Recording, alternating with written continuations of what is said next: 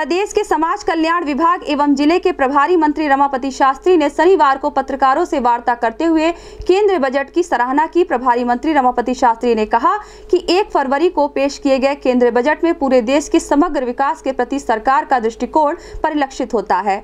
उन्होंने कहा कि बजट में हेल्थ सेक्टर पर निवेश को बढ़ाया गया है। पीएम आत्मनिर्भर स्वास्थ्य भारत योजना शुरू होने से स्वास्थ्य के क्षेत्र में आमूल चूल परिवर्तन होगा। बजट में देश के 602 ब्लॉकों में क्रिटिकल केयर अस्पताल बनाने की भी घोषणा शामिल है। कहा कि वायु प्रदूषण की बढ़ती समस्या से निपटने के लिए चार नेशनल इंस्टीट्यूट ऑफ़ वायरोलॉजी बनाने की घोषणा अपने आप में एक बड़ा कदम है। ऑपरेशन ग्रीन स्कीम में टमाटर, प्याज और आलू के अलावा 22 पेरिशेबल क्रॉप्स को शामिल किया गया है। उन्होंने कहा कि केंद्र सरकार किसानों के हित के लिए समर्पित है।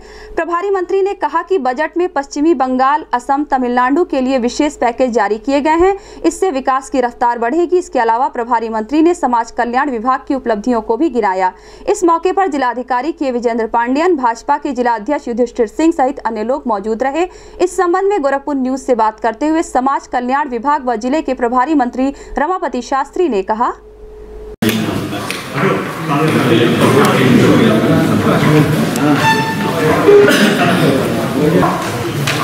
बैठ जाते तो अच्छा।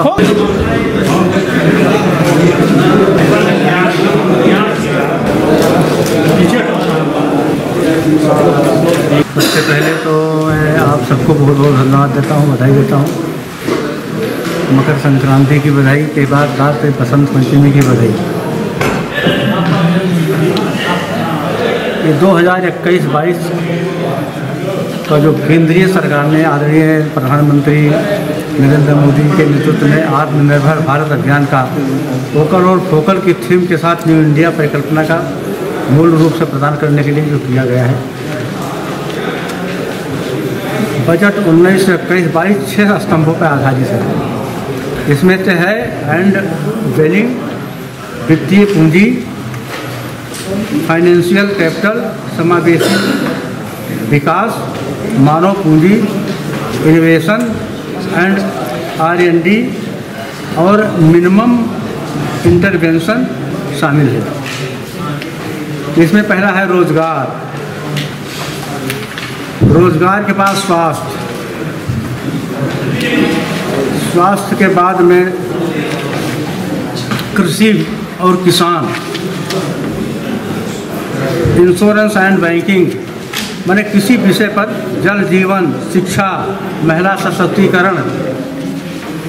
पश्चिम बंगाल के लिए भी इन्होंने एक व्यवस्था दिया है, वहाँ इतना बड़ा सड़क बना करके सारे लोगों को प्रभावित करने वाले हैं। भारत माला प्रोजेक्ट प्रवासी और असंगठित क्षेत्र में मजदूरों की व्यवस्था सीनियर सिटीजन्स के बारे में भी चर्चा किया है। अब इस प्रकार से किसी भी स्तर पे कहीं भी माने प्रधानमंत्री जी ने छोड़ा नहीं है।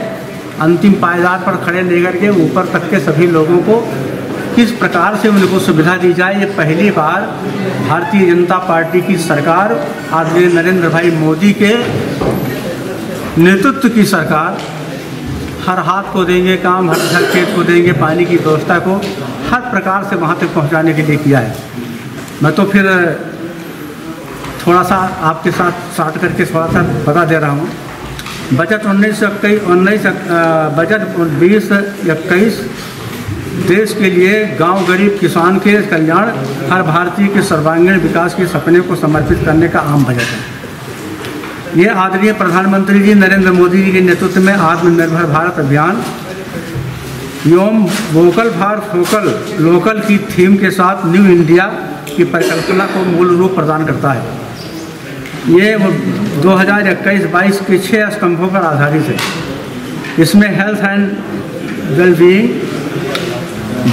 वित्तीय पूंजी और समावेशी विकास, मानव पूंजी innovation and R and D का मिनिमम इंटरवेंशन शामिल है, जो संपूर्ण भारत के हर क्षेत्र में विकास पर आधारित है। रोज़गार इंफ्रास्ट्रक्चर डेवलपमेंट पर विशेष फोकस स्वास्थ्य स्वास्थ्य क्षेत्र में सुधार इंश्योरेंस सेक्टर में एफडीआई की नीति में बदलाव एमएस एमईएस की मजबूती और शिक्षा का रिसर्च पर विशेष ध्यान, देश में रोज़गार सृजन की बड़ी भूमिका भी निभाएगा। स्वास्थ्य, पहली बार स्वास्थ्य क्षेत्र में बजट के एक सौ सैंतीस फ़ीसदी तक बढ़ाकर पिछली बार से बासठ हज़ार करोड़ रुपए के मुकाबले दो लाख बत्तीस हज़ार करोड़ रुपए लागत से किया गया है। भर स्वास्थ्य भारत योजना के लगभग पचहत्तर हज़ार गाँव में वेलनेस सेंटर्स की मदद मिलेगी। 602 जिलों में क्रिटिकल केयर हॉस्पिटल और हेल्थ इमरजेंसी ऑपरेशन सेंटर्स शुरू करने की ग्रामीण क्षेत्रों में स्वास्थ्य सिस्टम की काफ़ी मजबूती होगा। National institute of world health के साथ चार नए नेशनल इंस्टीट्यूट ऑफ़ वायरोलॉजी और नौ बायो सेफ्टी लेवल तीन लैब खोलने की भी ऐलान पब्लिक स्वास्थ्य दिशा में मील का पत्थर साबित होगा। सरकार ने कहा है कि ज़रूरत पड़ने पर इसके लिए और भी ज़्यादा फंड दिया जा सकता है। नरेंद्र मोदी जी ने नेतृत्व में केंद्र की भारतीय जनता पार्टी सरकार किसानों के कल्याण एवं उनके आय को दोगुना करने के लिए कटिबद्ध है। एग्रीकल्चर इंफ्रास्ट्रक्चर फंड और एपीएमसी की भी पहुँच होगी, जिससे एपीएमसी और सुदृढ़ होगी। पश्चिम बंगाल में बंगाल में पच्चीस हज़ार करोड़ रुपए की लागत से 675 किलोमीटर लंगा राष्ट्रीय राजमार्ग बनाए जाने का घोषणा और कोलकाता सिलीगुड़ी रोड से अपग्रेडेड पश्चिम बंगाल में न केवल इंफ्रास्ट्रक्चर मज़बूत होगा, बल्कि रोज़गार का भी सृजन होगा। पश्चिम बंगाल और आम आसाम की, असम की महिला, टी वर्कर एवं उनके बच्चों के लिए एक हज़ार करोड़ रुपए दिए जाने का प्राविधान टी वर्कर के लिए सशक्त बनाएगा। Bharatmala project Bharatmala project के लिए 3.3 लाख करोड़ रुपया देने के, दे, दिए गए हैं। इसके तहत तमिलनाडु में one one point one zero three lakh crore रुपए के लागत से तीन हज़ार पाँच सौ किलोमीटर केरल से पैंसठ हज़ार करोड़ रुपए की लागत से एक सौ एक हज़ार सौ किलोमीटर और असम में चौंतीस हज़ार करोड़ रुपए की लागत से तेरह सौ किलोमीटर लंबा राष्ट्रीय राजमार्ग बनाए जाने का निर्णय स्वागत योग्य है। मुक्ति मिलेगी। सीनियर सीनियर सिटीजन्स के लिए भी किया गया है। आज़ादी के 75 साल गिरे पर 75 साल और उसके ज़्यादा उम्र के सीनियर सिटीजन को भी आईटी रिटर्न को से राहत देना कितना बड़ा काम है? आईटी रिटर्न से राहत देना और पेंशन में आयकर का इनकम टैक्स से छूट एक अच्छा कदम है। स्ट्रक्चर के विकास के लिए आवंटन को आवंटन को बढ़ा करके चालीस हज़ार करोड़ रुपए की कर, चालीस हज़ार करोड़ रुपया कर दिया है। रेलवे के लिए एक point one zero lakh crore रुपए का जबकि सड़क परिवहन मंत्रालय के लिए एक करोड़ अठारह लाख एक सौ एक करोड़ रुपए का अतिरिक्त प्रावधान किया गया है। तीन लाख करोड़ रुपए से अधिक ला, लागत की स्क्रीन स्कीम लॉन्च की जा रही है जो देश के बिजली के जुड़े इंफ्रास्ट्रक्चर को मज़बूत करने का काम करेगा। सरकार की ओर से हाइड्रोजन प्लांट बनाने का भी ऐलान किया गया है। बिजली क्षेत्र में पीपीपी मॉडल में तहत कई प्रोजेक्ट को भी पूरा किया जाएगा। ये हर घर में 24 घंटे बिजली उपलब्ध हो, करवाने की सहायक होगी। और सबका विश्वास के मंत्र को प्रेरित करते हुए केंद्रीय बजट दो हज़ार इक्कीस बाईस गरीब, गरीबों, किसानों, मजदूरों और तमाम छोटे छोटे वर्ग को जो अंतिम पायदान पर खड़े हुए हैं उनके लिए गति प्रदान करेगी, उनके लिए बहुत बड़ा वरदान होगा। ये सारा सार करने के बाद अपने विभाग का भी थोड़ा बताना ज़रूरी है। मुख्यमंत्री सामूहिक विवाह योजना के अंतर्गत जो गोरखपुर की आंकड़ा दे रहा हूँ, पूरे उत्तर प्रदेश में तीन लाख जोड़े से ज़्यादा शादी हो गई थी, जिसमें गोरखपुर में ही जनपद में चार सौ इक्यासी जोड़ों का विवाह संपन्न कराया गया, जो पूरे प्रदेश में सर्वाधिक है।